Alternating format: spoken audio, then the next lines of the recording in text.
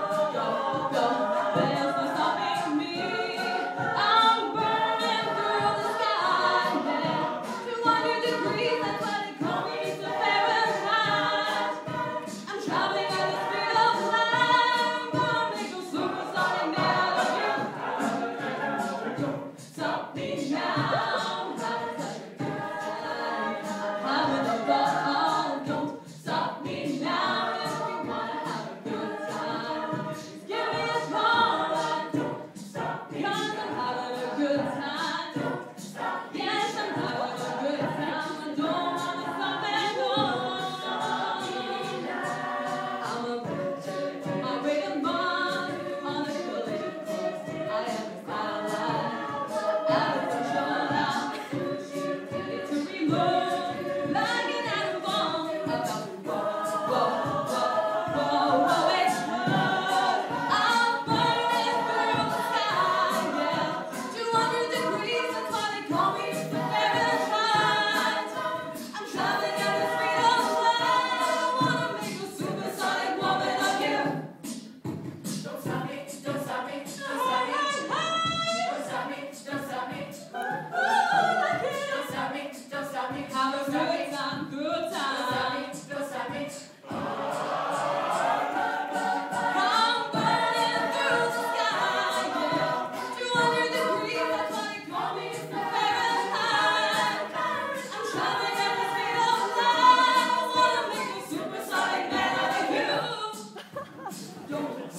Krishna.